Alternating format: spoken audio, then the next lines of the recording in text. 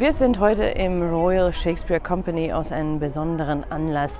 Im Geburtsort von Shakespeare wird heute äh, das Buch vom türkischen Journalisten Can Dündar auf die Bühne gestellt.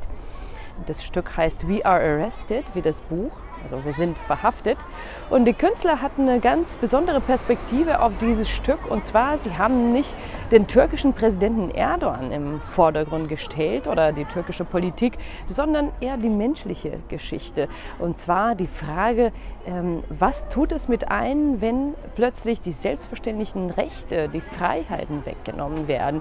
Es wird auf jeden Fall ganz spannend heute Abend im Theater. Und wie ich das schon ähm, im Theaterbuffet erfahren habe, kommt vielleicht das Stück auch bald nach Deutschland.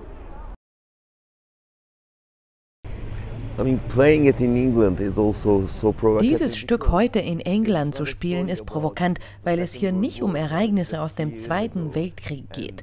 Die Geschichte liegt nur drei Jahre zurück und der Präsident, der eine sehr wichtige Rolle im Stück hat, war im vergangenen Monat hier und wurde im Buckingham-Palast von Königin Elisabeth empfangen.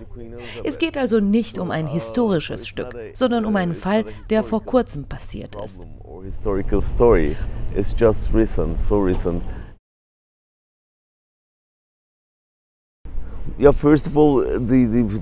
Auf der Bühne endet die Geschichte mit meiner Freilassung. Ich muss aber daran erinnern, dass 150 weitere Journalisten immer noch im Gefängnis sitzen und die Lage verschlechtert sich von Tag zu Tag. Das Problem ist noch nicht gelöst. Wir müssen also etwas tun. Uh, über die Situation in der Türkei zu klagen, reicht nicht, um Solidarität zu zeigen. Es gibt aber viele Sachen, die man tun kann. Wenn du ein Journalist bist, du kannst deine Seiten für die inhaftierten türkischen Journalisten öffnen und ihre Geschichten veröffentlichen. Wenn du ein Verleger bist, kannst du ihre Bücher herausgeben. Wenn du ein Anwalt bist, du könntest in die Türkei reisen und dir ihre Prozesse anschauen.